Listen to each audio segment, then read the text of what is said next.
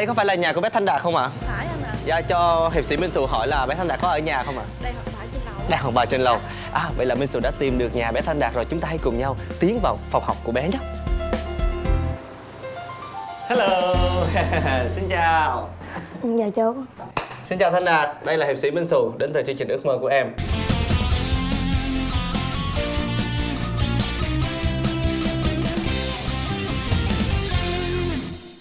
Con biết uh, chú hiệp sĩ đến đây gặp con để làm gì không? Dạ Ngày hôm nay chú hiệp sĩ đến đây để giúp con thực hiện ước mơ của con uh-huh. Vậy thì ước mơ của mình là gì? Dạ Ước mơ của con là Con được làm một chiếc máy bay mini điều khiển từ xa Tại sao con lại có ước mơ này? Dạ tại con thấy nó là ngầu Rất là ngầu Rất là ngầu Nhà con có chiếc nào chưa? À, Con có xe chứ con không có máy bay Thì để thực hiện một chiếc máy bay điều khiển từ xa Thì cần có những gì con biết không? Cần có bìa cắt tông, giấy. Giấy là bìa cắt tông đó, hai cái là một. Kéo, kéo dán sắt Với lại cục motor. Cục motor là cục gì? Dạ, cái cục nằm ở trong uh, mấy chiếc xe điều khiển. Ừ. từ xa Rồi bên cạnh đó thì mình phải thiết kế cái cái bộ máy điều khiển chứ đúng không? Dạ Mình phải cầm cái đó là máy bay nó mới bay lên được đúng không? ừ. Vậy cái cục đó mình chế tạo làm sao? Vậy thì bây giờ vậy đi Đơn giản nhất luôn Bây giờ con lấy cuốn tập ra Con lấy cây viết ra con vẽ sơ sơ cho chú coi coi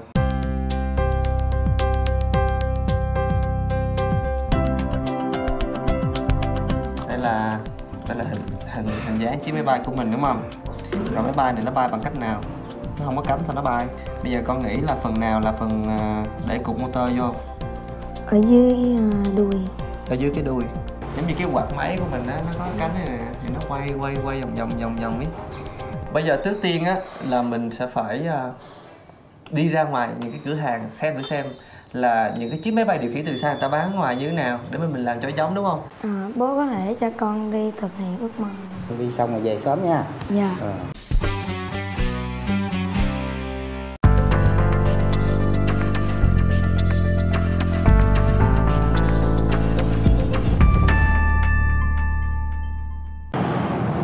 đây.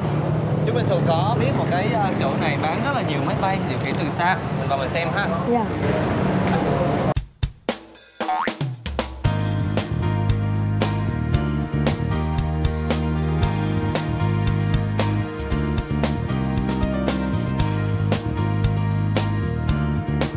Xin chào anh ạ.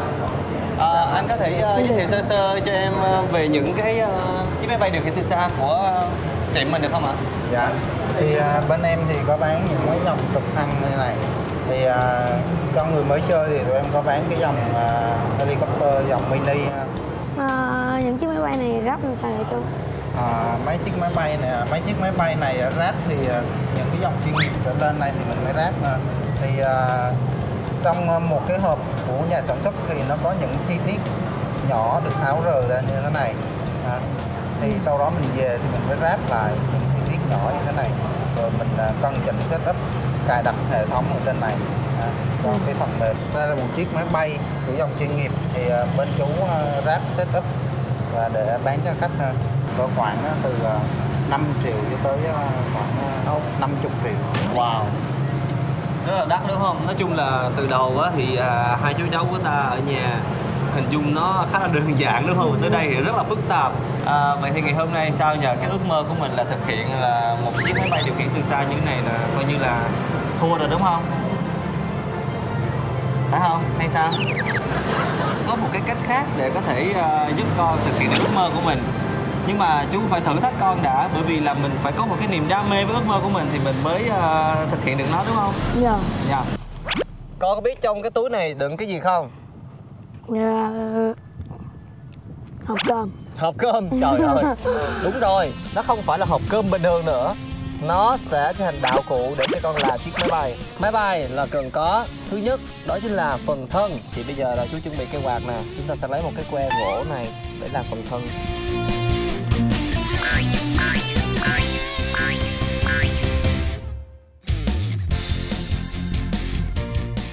Đây là một cái miếng để làm cánh. Đó mình sẽ thêm một miếng nữa nha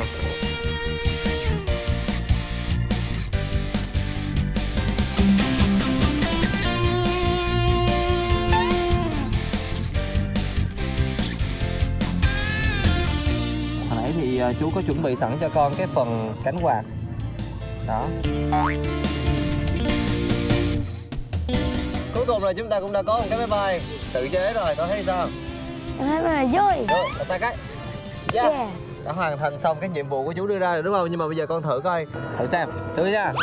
Bay không bay không. À! chúng ta sẽ ném theo cái hướng bay lên trên không trung luôn. Thử xem một hai ba. Thực hiện ước mơ ba. À,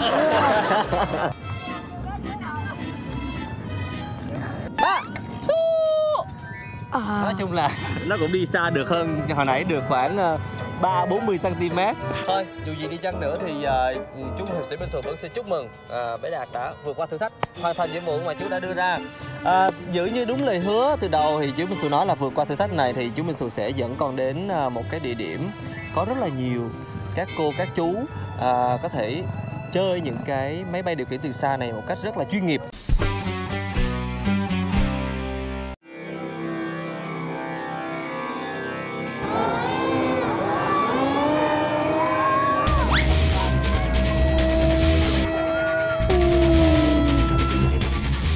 Đây, xin chào anh Linh ạ. À, giới thiệu với à, bạn Đạt, đây chính là à, chú Nguyễn Linh. Theo con nghĩ sao mà con lại mơ ước là làm máy bay này? Hả? dạ tại con thích sáng chế ra máy bay Ừ. Thì vì máy bay này là một cái điều rất khó, điện tử, vừa điện tử vừa khí động học, vừa vật lý, vừa là tức là nhiều thứ kết hợp. À, em thấy là có rất là nhiều cái mẫu, ví dụ như to nhỏ khác nhau và cái bộ điều khiển này nữa, nó Ừ. nó kết hợp với nhau như thế nào? Thì à, cái này là để điều khiển cái hệ cơ trên máy bay giống như máy bay thật. Ví dụ như chiếc máy bay này, Dạ. đây là một trong những cái máy bay mà anh em tự chế. Này giống như là ước mơ của con đó. Dạ.